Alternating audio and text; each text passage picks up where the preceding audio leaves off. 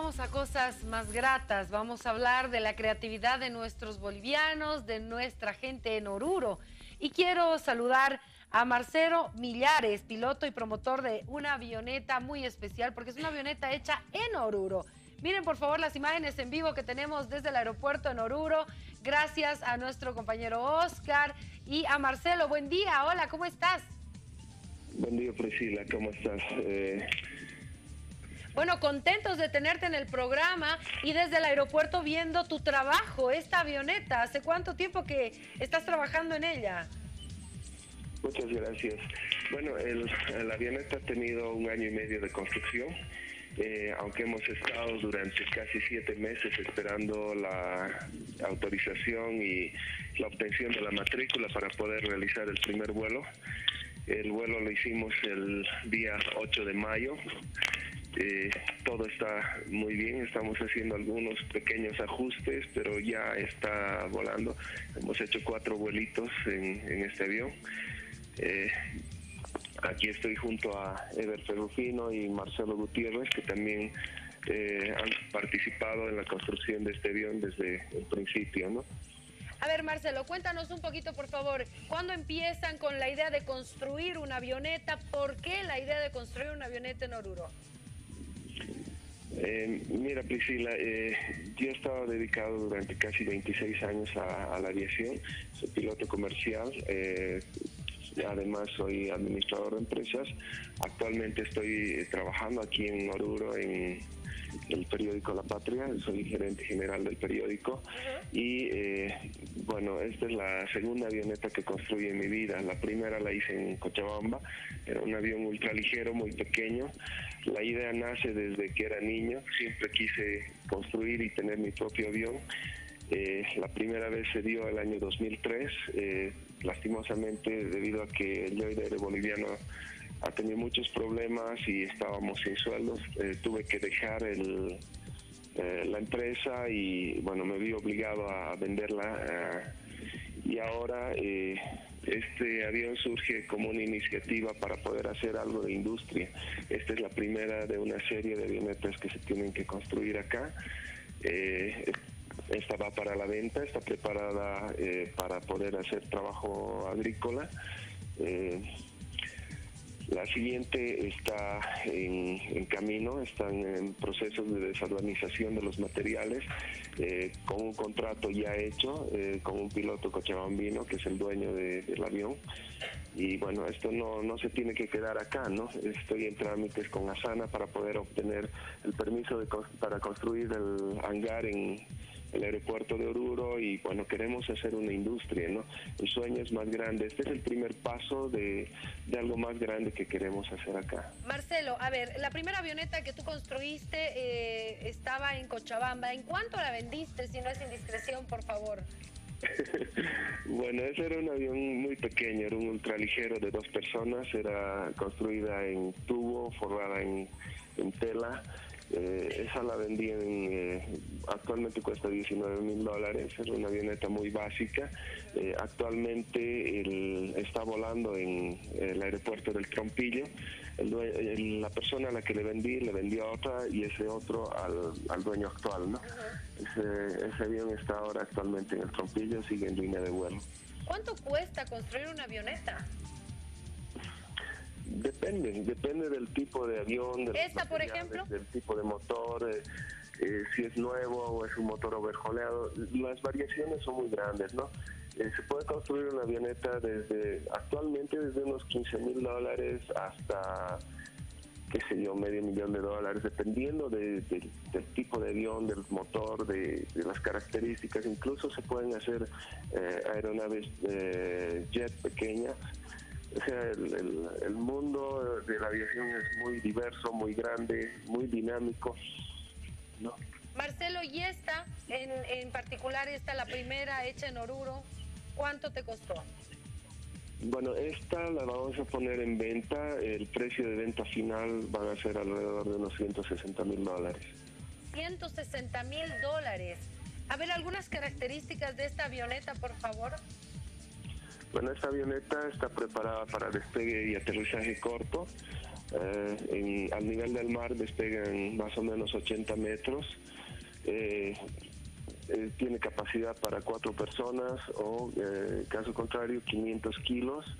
está preparada como para poder entrar y salir de de pistas anegadas en época de lluvias, por ejemplo, es ideal para los, eh, los ganaderos que tienen estancias, porque puedes salir y, entrar en, pedazos pequeños de, pista y no importa si tiene barro, si, si están anegadas las pistas o, pedregosas. Eh, y bueno, en caso de, querer fumigar, también se le puede instalar un equipo de fumigación y, podría fumigar este avión. Eh, Marcelo, perdón por la ignorancia. No sé cómo funciona el tema, yo no soy piloto ni nada por el estilo, pero eh, no sé si podríamos escucharla prendiendo, se la prende, es fácil, ¿cómo funciona? Sí, se puede. El problema, como les comentaba a tus compañeros, es que eh, la temperatura aquí en Oruro en este instante está en menos 3 grados centígrados y bueno, el aceite está como, como grasa, está sumamente espeso, entonces para poder encenderla tendríamos que precalentar por lo menos una hora con un dispositivo que tiene para eléctrico en el motor y tendríamos que, calentarla para poder encenderla, ¿no? Entonces, lastimosamente no lo vamos a poder hacer ahora. No, entendemos, entendemos. Pero, eh, y es por las condiciones que tenemos acá en Oruro, ¿no? Marcelito, ¿puedes subir, por favor, al, al avión? Y voy a pedir a Oscar, que está ahí también, nuestro, nuestro colega, para que se suba y que nos cuente también qué se siente estar en este avión construido en Oruro. Ok. Miren, estamos en vivo vía Skype, gracias a la tecnología, mostrándoles la primera avioneta hecha en Oruro. Un orgullo para los orureños y que está a la venta. El que tiene más de 100 mil dólares puede comprarse esta avioneta. Aquí Martín, Juan Carlos ya quieren hacer una orden de unas dos avionetas para cada uno. Por eso Juan Carlos ya lo mandó a Santa Cruz a estudiar a su hijo eh, para que sea piloto. Así que ya tenemos todo listo, Marcelito, para comprar acá. bueno, eh, aquí se la, se la puede ver la avioneta. A ver. tengo aquí el panel encendido. Esto es un avión eh, bastante moderno. Eh, acá tenemos todos los equipos eléctricos y electrónicos. Eh, estos son instrumentos de backups que en caso de que fallara la pantalla, el avión puede seguir volando. Marcelo, ¿hasta dónde llegó la avioneta? Eh, solamente la hemos volado aquí sobre Oruro, pero no tiene límites, puede volar en cualquier lugar del territorio nacional, ¿no? Eh, tiene una autonomía de tres horas, a Santa Cruz puede llegar en dos horas, desde Oruro directo. ¿Y el, haberlo construido en Oruro tiene una característica mayor, un plus, se podría decir, por la altura? Eh, no, no tiene un plus por la altura. Eh, su motor es estándar, como le dije, es, eh, está preparada y pensada para el oriente boliviano. Entonces no justificaba ponerle un motor con, turbo, que es mucho más caro, ¿no? Eh, sin embargo, si se quisiera volar acá, se le puede poner un, equipo turbo al, al motor y bueno, no tiene las limitaciones que tiene ahora, ¿no? Eh, Marcelo, me preguntan aquí los, los, que conocen sobre esto, ¿dónde fundieron las partes para el avión? Ya, eh, en realidad eh, se forman las partes con, ah. planchas metálicas. en las imágenes de apoyo que les pasé, no sé si las tienen disponibles, se pueden ver las planchas de aluminio que han sido formadas, han sido perforadas, remachadas aquí no, no se funde nada, ¿no? Son, simplemente eh, se forma la eh, se forma el aluminio y los, todos los tubos que, se utilizan son eh, aleaciones de cromo y molibdeno, que es el acero que se utiliza en la, en la aviación, ¿no? ¿Cuántas personas trabajaron en la en, en la elaboración de esta avioneta? Tres personas están aquí conmigo, Ever Ferrufino y Marcelo Gutiérrez que los tienen ahora en pantalla. Ever, el que se encuentra al lado derecho de la pantalla, es eh, técnico en motores y Marcelo es eh, arquitecto y ahora están eh, metidos en este mundo de la aviación. Marcelo, ¿podemos pasarle por favor el, el, teléfono a alguno de ellos? A ver, ¿con quién me comunicas primero? Porque me gustaría conocer un poco el criterio de ellos. Ok, te paso entonces con Ever Ferrucino. Ever, perfecto. Ahí está, estamos mostrando en vivo desde Oruro, desde el aeropuerto, estas imágenes de la primera avioneta, avioneta hecha en Oruro por manos bolivianas. Ever, ¿cómo está? Buenos días, ¿me escucha? Sí, buenos días. ¿Cómo está? Le escucho. Felicidades, qué lindo trabajo. Cuéntenos, por favor, qué es lo que hizo usted. Ah, bueno, yo estoy muy orgulloso de haber participado en este proyecto y a ver, hemos hecho toda la parte mecánica, la construcción entera de la avioneta con don Marcelo y bueno, feliz, ¿no? Por el trabajo realizado. ¿En cuánto tiempo hicieron la avioneta? En un año y medio de construcción.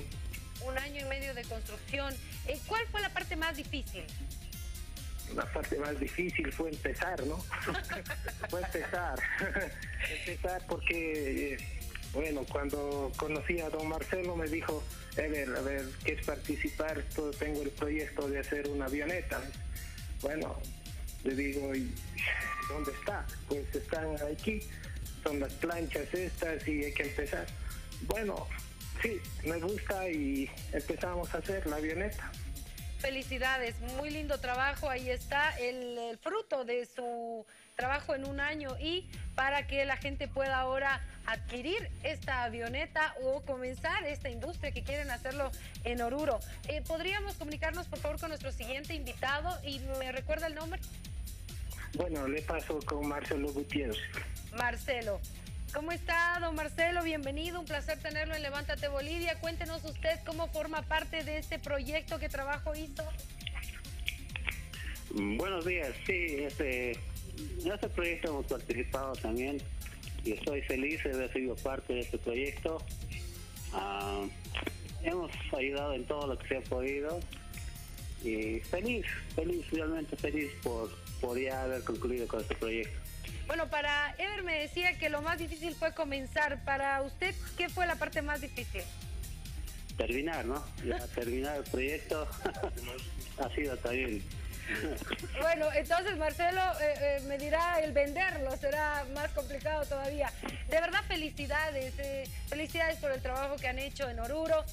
definitivamente va a ser un placer si en algún momento llegan hasta La Paz tenerlos y conocer esta avioneta en vivo. Y bueno, aquí Martín quiere comprar unas dos, así que empiecen a trabajar por favor bastante. bueno, bueno, gracias. Gracias, gracias, a usted. Eh, vamos a ya despedir la entrevista con Marcelo, con el que tuvo la idea, la idea de hacer esta avioneta. La hizo primero en Cochabamba, luego vendió esa avioneta que todavía sigue volando. Ahora está eh, esta avioneta hecha en Oruro que también está a la venta y con la idea de comenzar la construcción de otra, ¿verdad? Así es, afirmativo. Y bueno, en este caso yo difiero un poquito con mis compañeros, creo que la parte más difícil fue la obtención de los papeles, definitivamente. Las autorizaciones, ¿no debe ser fácil que autoricen algo hecho en, nuestro país? Eh, sí, hubo bastante demora, más que trabas, demora en, la salida de los papeles. Eh, yo creo que este es un llamado de atención un poquito para nuestras autoridades que hay que tratar de agilizar los procesos, agilizar las cosas para poder incentivar y, este tipo de iniciativas. ¿Qué papeles fueron los que más tardaron? ¿Qué cosa? La obtención de la matrícula, eh, la obtención de la matrícula ante la Dirección de Aeronáutica Civil. Eh, bueno, ahora estoy demorado con los papeleos eh, con Asana para la construcción del hangar. Es un año ya que llevo en trámite. Entonces, como que se extienden demasiado las cosas, ¿no? Marcelo, ¿esta avioneta podría vendérsela fuera de nuestras fronteras? ¿También funciona sin ningún problema? Sí, bueno, los estándares son internacionales, ¿no? Y eh, el diseño no es un diseño propio, es un diseño ah, comprado de, del Canadá.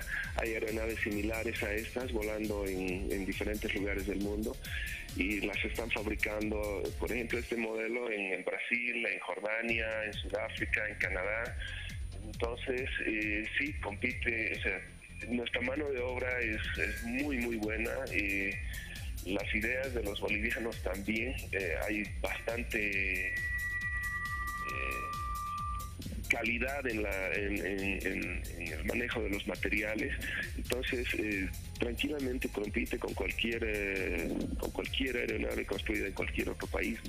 Felicidades Marcelo y de verdad para muestra un botón, ahí está, los bolivianos también hacemos aviones, hacemos avionetas como la que le estamos presentando en este momento. Un aplauso por favor para la gente que formó parte de este proyecto, para Marcelo por su iniciativa y esperemos ver toda una flota de avionetas hechas en Bolivia. Muchísimas gracias y con estas imágenes vámonos a una pausa por favor, ya retornamos. Gracias Marcelo, chao chao. Gracias a ti Priscila. Imágenes en vivo desde Oruro. Con eso nos vamos a una pausa en Levántate Bolivia. Felicidades.